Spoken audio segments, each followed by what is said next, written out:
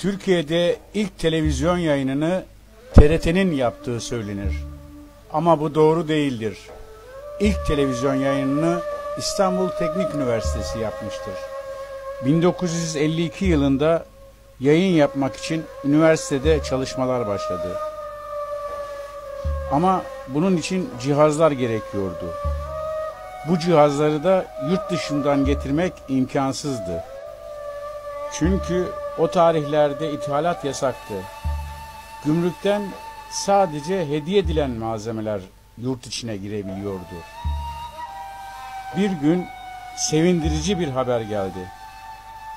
Yurt dışındaki bir elektronik firmasından İstanbul Teknik Üniversitesi'ne hediye olarak kameralar, vericiler ve bazı teknik cihazlar gönderildi. Bunların hakikaten hediye mi olduğu yoksa kanunları delmek için mi hediye olarak gönderildiği halen bilinmemektedir. 1953 yılının son aylarına gelindiğinde yayın için her şey yapılmıştı.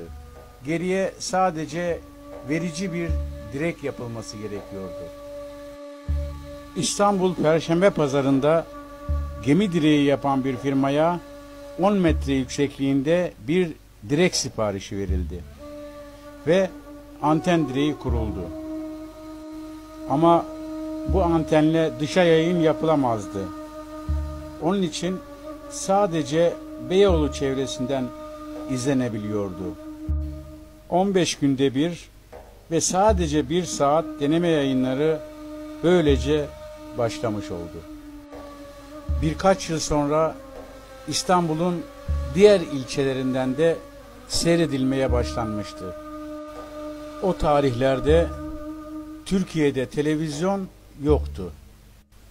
Sadece ünlü firmaların vitrinlerinde bu televizyonlar vardı ve oradan seyrediliyordu.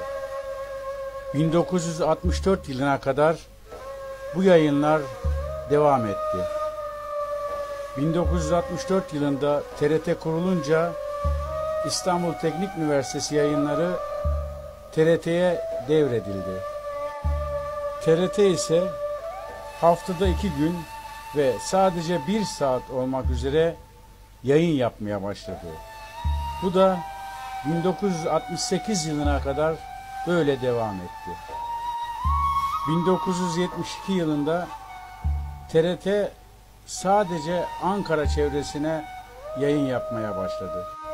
1977 yılına gelindiğinde Türkiye'nin her yerinden TRT yayınları seyredilmeye başlandı. 1952 yılında İstanbul Teknik Üniversitesi laboratuvarlarında yapılan çalışmalar Türkiye'de ilk yayın çalışmaları olarak tarihe geçmiştir.